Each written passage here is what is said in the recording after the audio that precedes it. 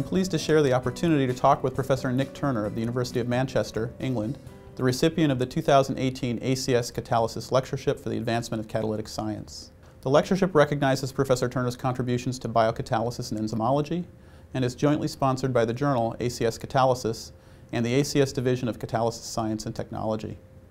Nick is being recognized for his contributions to the engineering of enzymes to catalyze an array of transformations of interest to both industrial and academic scientists, such as biocatalytic reductive amination or alcohol to amine conversion using hydrogen borrowing cascades, among others.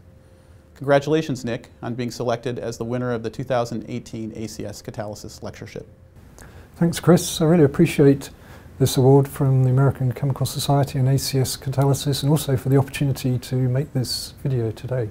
A key theme in your research has been the development of enzymes and concepts for the synthesis of optically pure amines. Please speak about some of the challenges of such transformations as well as the importance of such compounds in chemical synthesis. So maybe I can tell you a, a little story. Um, about 20 years ago, uh, we had a very nice collaboration with scientists at Glaxo Glaxo Wellcome as it was in those days before they became GlaxoSmithKline. And we were discussing with them sort of opportunities in biocatalysis. And they started to tell us the story that about 40 to 50% of the compounds that went through chemical development in Glaxo were chiral amines, including amino acids, which obviously are quite a sort of um, substantial part of that. So they said if you really want to develop technology that has major impact in biocatalysis, across a broad range of pharmaceuticals, then focus or at least think about new opportunities in chiral amines. So this is the late um, 1990s, 20 years ago. Um, at that time, if you wanted to make a chiral amine, I would say most of them were made by resolution of racemates, and obviously the industry was looking for asymmetric methods rather than resolution-based methods. In terms of biocatalysis, there were people were mainly using lipases and esterases to do resolutions. There was a little bit of work on transaminase, but a lot of that was covered by patents, so there wasn't freedom to operate. Anyway, we took that on board and we started to work firstly on an enzyme called monoamine oxidase, which is the first enzyme really we engineered through directed evolution. And in fact, I added up the other day, I think we've published 50 papers on that one enzyme. It turned out to be our first foray and venture into directed evolution, but it turned out also to be an enzyme that was highly evolvable, and so we rapidly generated variants that we could use for practical applications. That enzyme has been subsequently used by many other groups around the world. It's been used by industry in practical manufacturing processes, so it's been a sort of fantastic enzyme for our group. Then we moved on to other enzymes. We started to work with transaminases like a number of groups around the world. And more recently, we've developed um, imine reductases and reductive aminases in the last five years. So we've, you're absolutely right, we've had this as a sort of major theme in our research group. Uh, amines are not just important, I would say, just in terms of pharmaceuticals, but, but they're everywhere. They're ubiquitous chemicals. They're monomers for polymers, hexamethyl diamine, they're solvents, some very simple amines, they're adhesives, they're surface coatings, etc., etc. And I think one of the real challenges for biocatalysis, which is used now very heavily for making chiral amines for pharmaceuticals, is can it also be used for making lower value bulk or specialty amines? And we have collaborations in that space now as well. In 2013, you published a highly cited commentary on biocatalytic retrosynthesis, guiding synthetic chemists in their thinking about the application of enzymes in chemical synthesis. What were some of the most important messages from that work, and how have the suggestions or guidelines evolved in the last five years? I can tell you firstly why I rewrote that uh, paper. I was giving an undergraduate course uh, at Manchester, and it was the last course for the final year uh, graduates.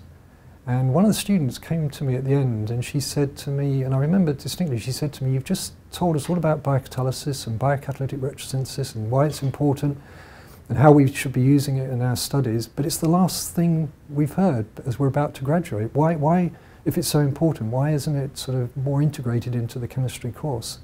So I really thought about that and we decided let's start this whole sort of, you know, debate about the importance of biocatalysis in synthesis and retrosynthesis. So we decided to write this paper slightly nervously, I would say, because I wasn't quite sure what the reaction would be from the chemical community, whether a lot of people would say that's obvious. You know, it's obvious that biocatalysis needs elements of retrosynthesis. But I would say that it's been very well received, uh, particularly from industry, because I think they value that sort of um, approach, but also from academics.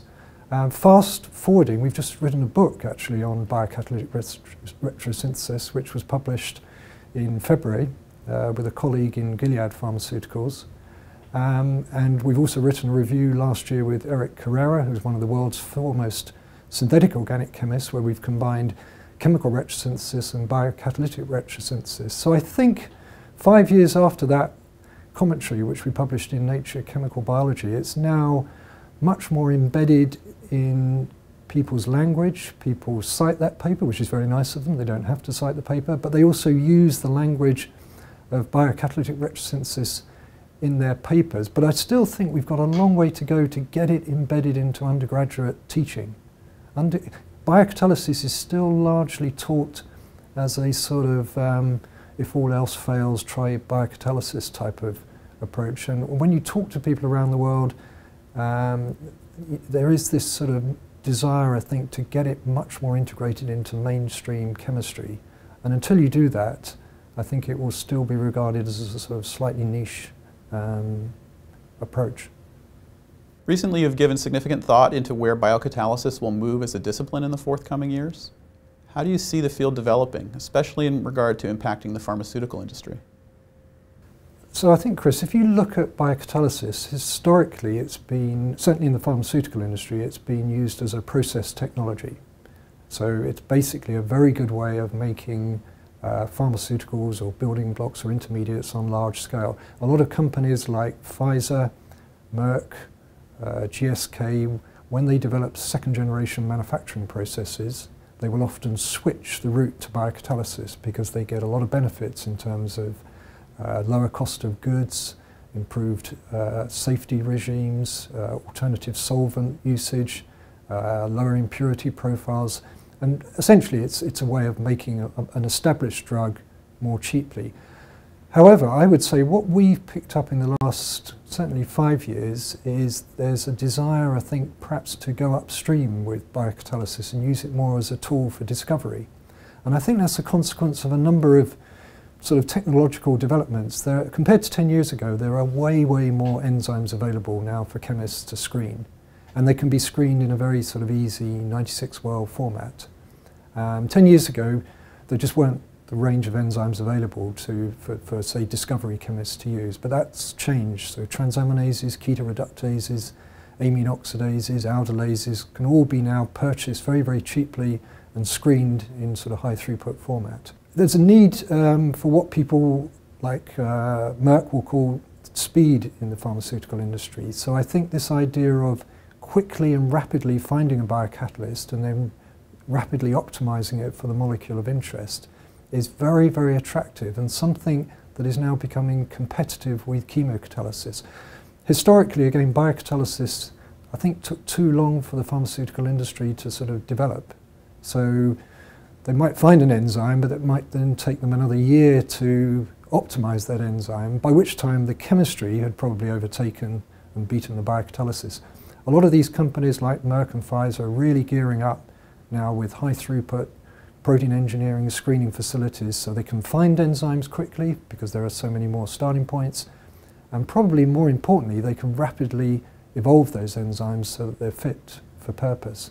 So we've in fact written this article recently with colleagues from those two companies where we've tried to crystal ball gaze, I would say, you know, what, imagine what life is going to be like in five or ten years' time. This field is moving so quickly. The phrase I use is we're in, we're in the golden age of biocatalysis.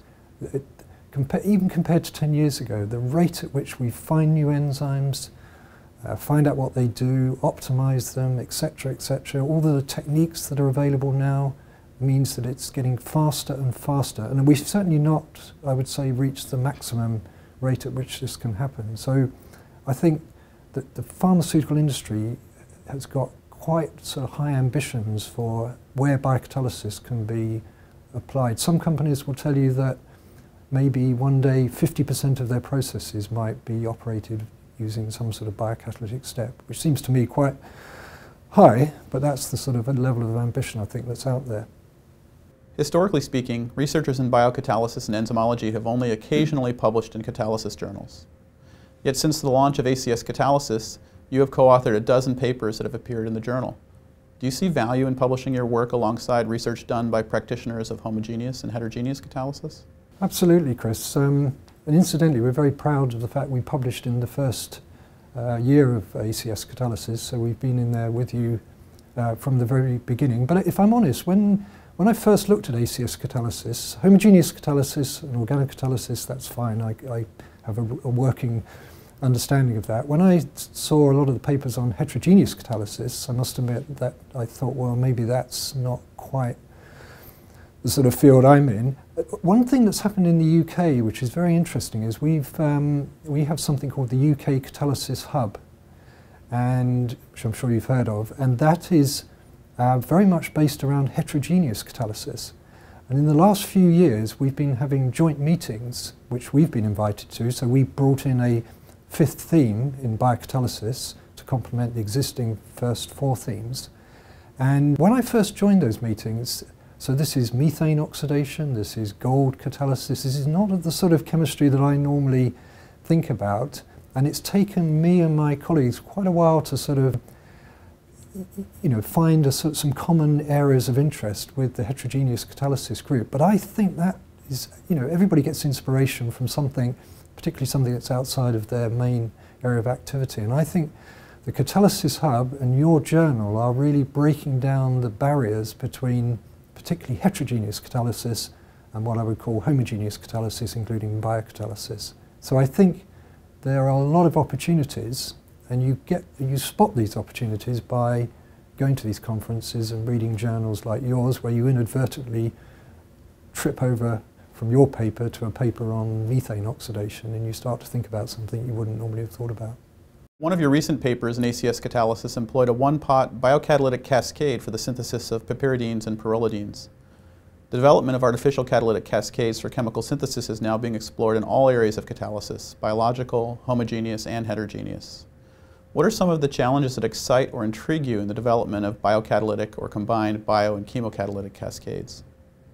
If you think about the way nature makes molecules, everything is a cascade.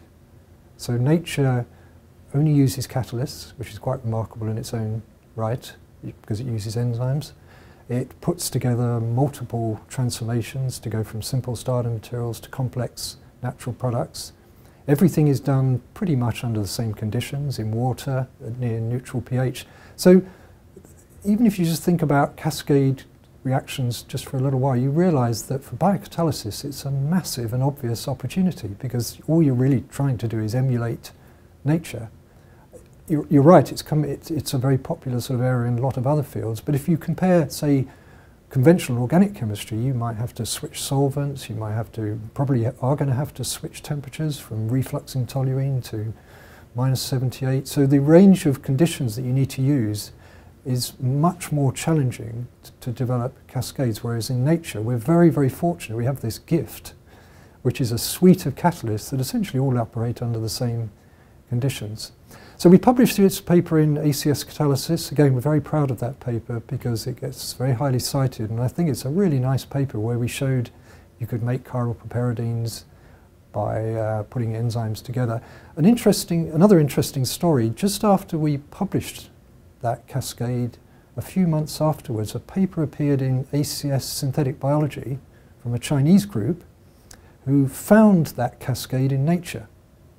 And I include this slide in my talk now. So we built it, we imagined it, we constructed it, we executed it in the lab, and then a few months later somebody found it uh, in a streptomyces. And so the question is, you know, nature got there first by a few million years, but it takes quite a while to to discover these things in nature. It's not easy to find the entire open reading frame to identify all of the substrates, the products, the enzymes. So my prediction, and you're seeing this, is we will get better and better at, at creating cascades in the laboratory before they're found in nature because as synthetic chemists we can uh, design, uh, think about what a cascade might look like, build it, engineer the enzymes, and you know, it may well be that they're out there, but it takes quite a while to find these cascades naturally. And I think biocatalysis is, is, a, is a technology that naturally sits very well with cascade reactions. Was there any hint or indication that your work on the synthetic cascade had helped them rationalize no, some of the things they were seeing, or was it totally independent? I think totally independent. And the, only, and the, well, the reason I spotted the paper is they were kind enough to reference our paper in ACS catalysis, which was very nice of them.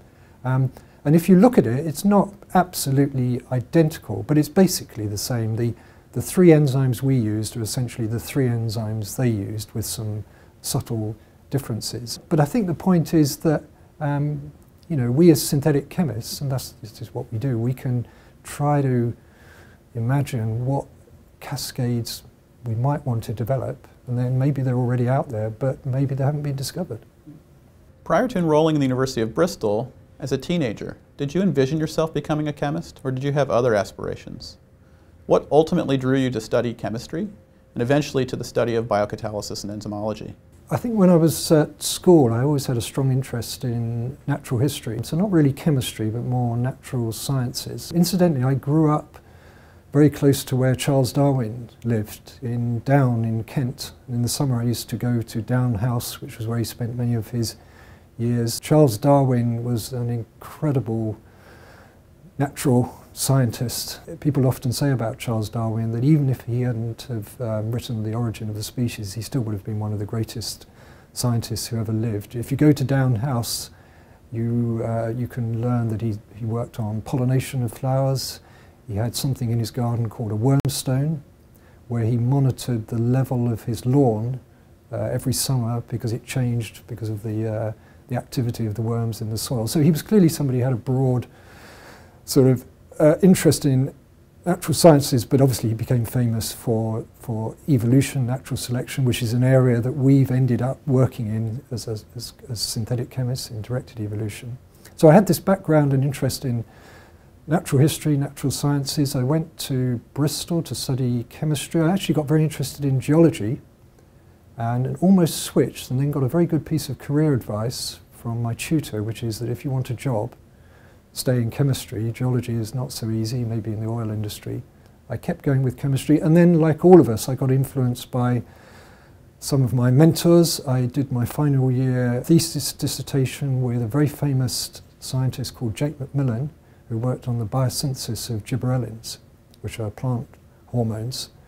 Uh, he was a lovely guy, very interesting Scottish uh, chemist, and so that really introduced me to the whole idea of biosynthesis, which again I was sort of interested in. I then went to do my PhD with Jack Baldwin, who was working on penicillin biosynthesis, which is, was world famous uh, research trying to understand how penicillin and cephalosporin antibiotics were biosynthetically assembled. And at that point, I changed direction slightly and went to work with George Whitesides at Harvard University.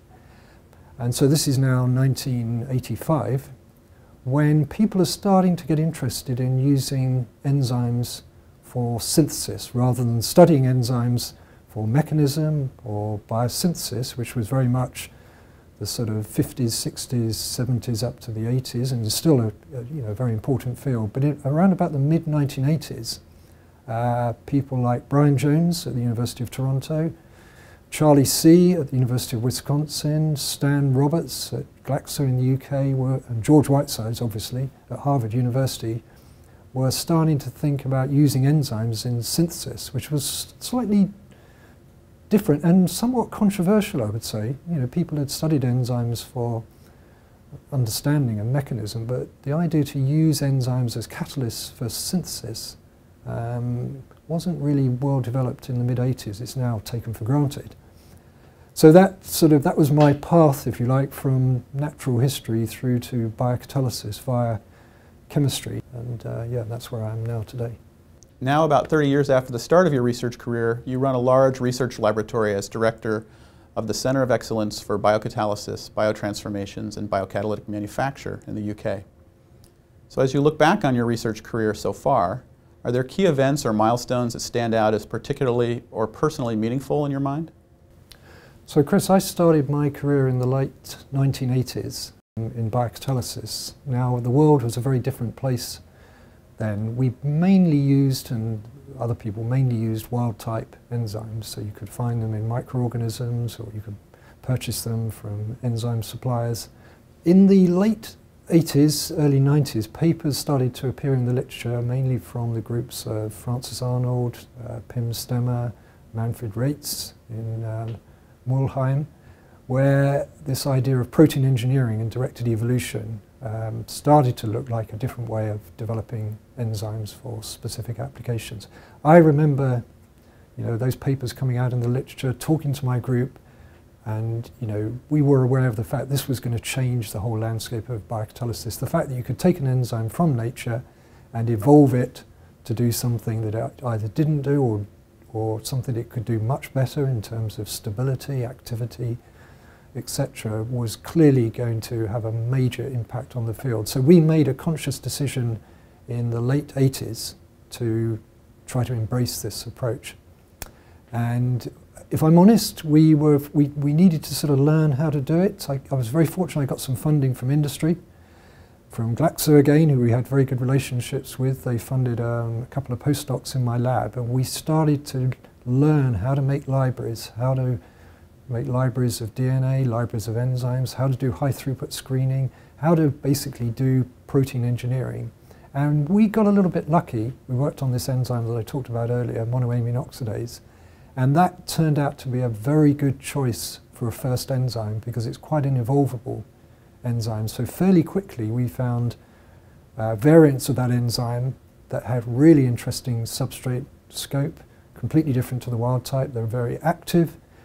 We could use them in synthetic chemistry in very interesting ways, and we started to sort of join that community of protein engineers and uh, directed evolution scientists. So I would say that that was without doubt a major sort of inflection in terms of the research that we were doing. Would, probably the next big move we made was when we went from Edinburgh University in 2004 to Manchester University in 2000, it, it, to Manchester University, and for the first time we moved into an absolutely beautiful, brand new, purpose-built building, the Manchester, Institute of Biotechnology, where I am at the moment.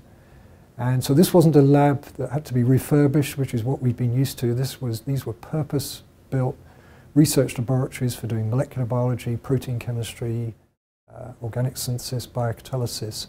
It's a beautiful building. I don't know if you've ever been there, but it's, it's, it looks like a sort of biotech company. So that became really important in terms of recruiting students, collaborations. It's, it's a multidisciplinary institute, focuses entirely on research, so we don't really have undergraduates. So it led to new collaborations with colleagues in the building, and it's such a beautiful building that when you walk in there, you become sort of inspired. And, um, and, and so it's very nice for students. They, they, we, I, I noticed a sort of significant, I would say, sort of improvement in our ability to attract very good quality students. And, and the Centre of Excellence in Biocatalysis was started in 2004 at the same time as we moved into the building. And that has really gone from strength to strength. We use that as essentially a platform and a vehicle for collaborating with groups around the world, academic groups, industrial groups, and th there's no doubt the, you know, the environment that we work in has, made a, has, has played a big role in our ability to, to do our research and to attract the, the, the people that you absolutely need to do this sort of work. Nick, thank you for sharing your thoughts and experiences working in biocatalysis and entomology with us. Both the ACS Division of Catalysis Science and Technology and the journal, ACS Catalysis, are excited to honor you as the 2018 winner of the ACS Catalysis Lectureship for the Advancement of Catalytic Science. I look forward to the symposium to be held in your honor at the ACS meeting this fall in Boston, where we can celebrate your contributions to catalysis and learn about your latest research. Thanks, Chris. Cheers.